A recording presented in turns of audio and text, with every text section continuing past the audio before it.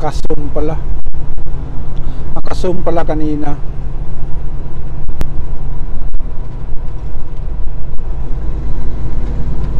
Twenty-five miles na lang ako. Pero, bah, paakyat pa. Talaga naman, lugo tong dispatcher ko ah. Talaga namang love na love ako ng dispatcher ko eh. Hmm.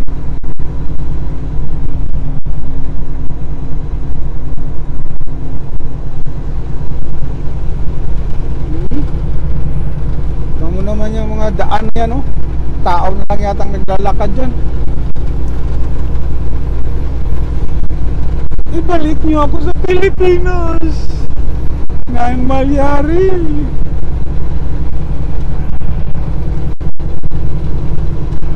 Talaga naman, tong daan na ito, nakakatuwa.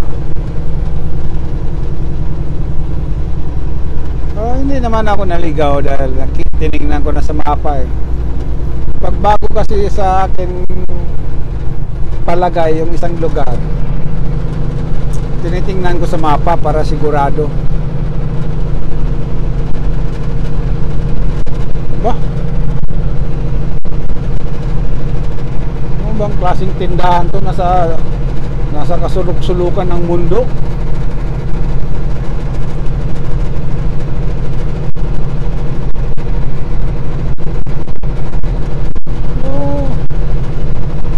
Marami namang bahay oh. Nga lang.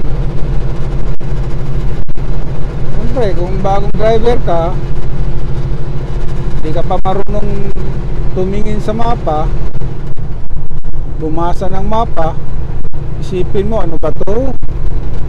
Kasi totoo lang, magandang lugar. Speed limit ka pa dyan, wala nga ang tao eh. Ah, walang bahay dyan.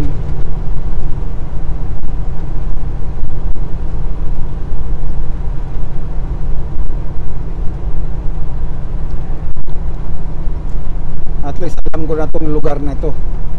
Ito dahil pinadala ako dito, ipapadala ako uli dito. Huwag lang winter dahil ay talaga naman. Ngayon okay lang, winter na ngayon pero kasi simula pa lang.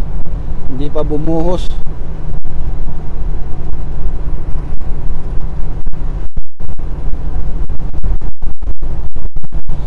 Kasi dito na kayo sa likod, 55 speed limit. Eh, kung ah, 60 pala, bilis-bilisan natin.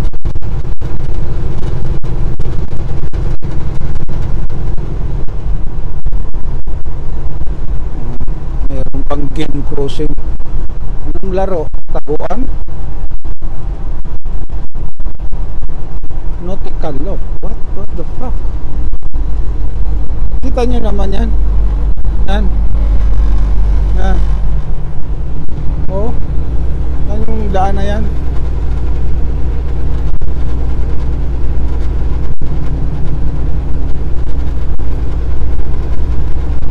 Oh.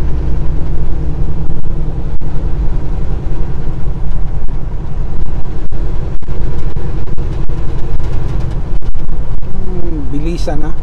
Yun ang pabilis. Oh, 45 speed limit. Nakakita mo? 45 nga.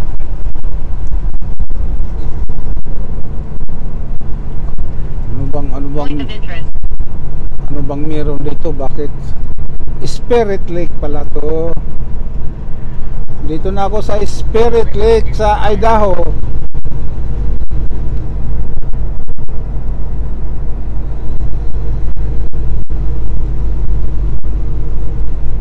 Spirit Newport Atoll. Ano ba yung mga lugar na yan? Hmm, huwag kang didiretso. May paglalagyan ka.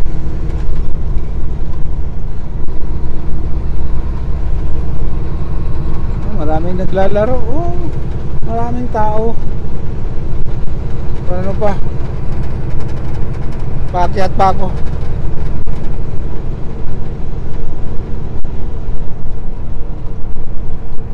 Kagandahan. Ito ang kagandahan sa truck driver. Who want to be a truck driver? Oh man.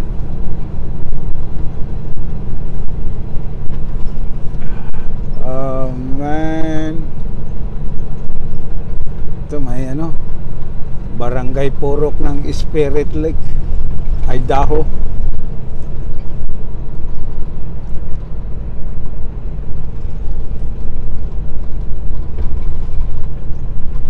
Ito yung buhay dito.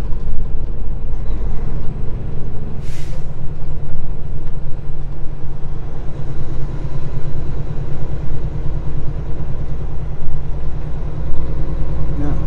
Marami ring tao. Oh, maraming sasakyan. Spirit Lake. Okay lang pag hindi winter. Kahit palagi ako dito. Pero pag winter time, nako, wag na. Ay, dub- dublihin pa ang bayad. Di siguro, mawawalan ka ng itlog dito.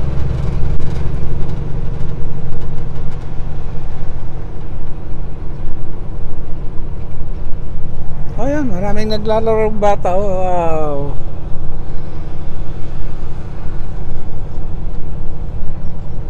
Ba ang speed limit dito? 25?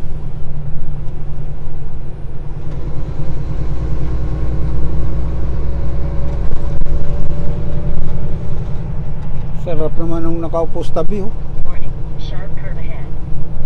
Wala na, warning warning ka pa.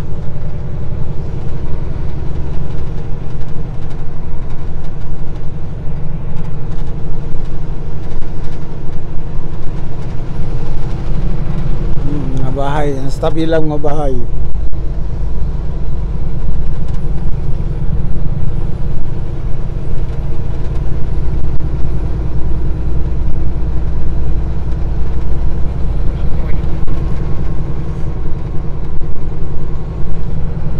Oh, may truck, okay lang. Mga local yung mga? What? 35 lang pala ang speed limit.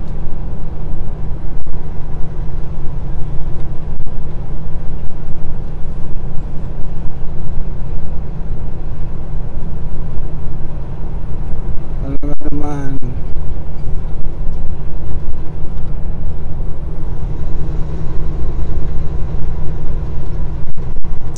Okay lang dahil okay lang tong dinadaanan ko dahil exper experiensyado na ako. Pero pag bago kang driver, sa totoo lang, pupunta ka dito, matatakot ka talaga. Tama namang mga lugar na yan.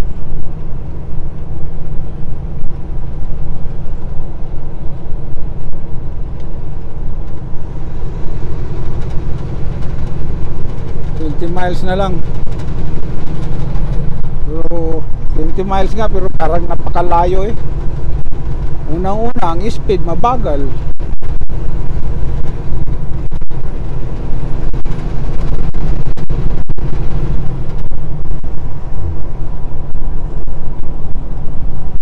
Sharp curve ahead.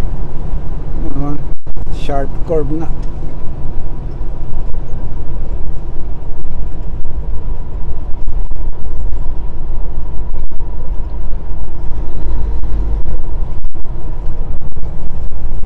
Pag pumasok ka dito, kailangan kumpleto ka pa sa oras driving dahil kawawa ka. Tama ang daan na yan. Liit pa. Kasalubog pa. Puro pa kurbada.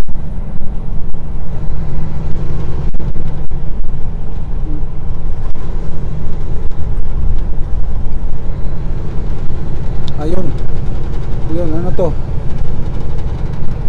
Emergency. Pwede matulog dyan, oh. Yan. Yan. Pwede ako matulog dyan. Kaya, nga ganyan, basta pag pumasok ka sa isang lugar, bago ka lang, ti- tingin mong ah, looban talaga, papunta ka pa lang, titingnan mo na kung meron kang ma, ma, may stambayan o matulugan. Dahil mahirap ang mga mote. Ayan itong lugar na ito. Oh, mali dyan ah.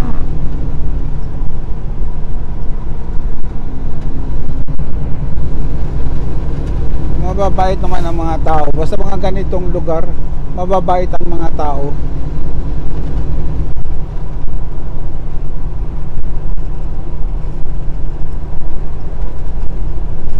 Totoo lang ah. Oh, tarik ko, matarik. Oh, matarik.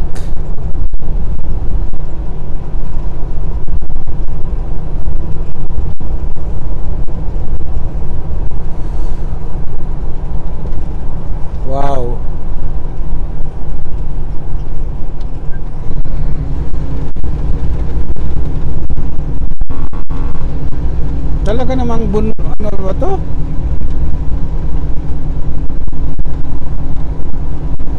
Oh, may truck. Salamat naman.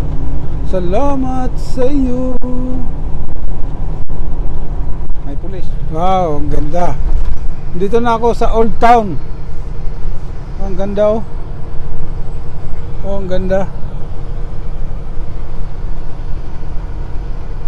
Saan ba yung tindahan na yan?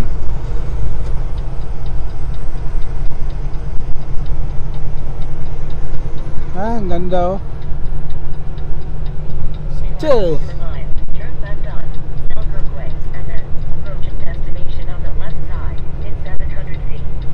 Ayun. Ayun, nakita ko na. Ah, thank you Lord. Ah, pwede pumarada dyan.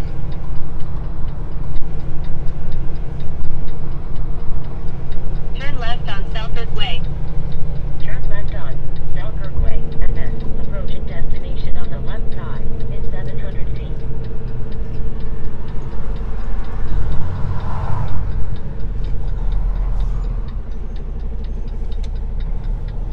Yan, yan yung tindahan na yan. Yan dyan ako mag-deliver. Yan, tractor supply na yan. Tapos, ano? Approaching Tractor Supply 2461 on the right. On the left side. Ano ba to? Saan ba ako dito? Mahirap na. Baka wala tayong dito. Takto, ah dito. Kakanan tayo dito.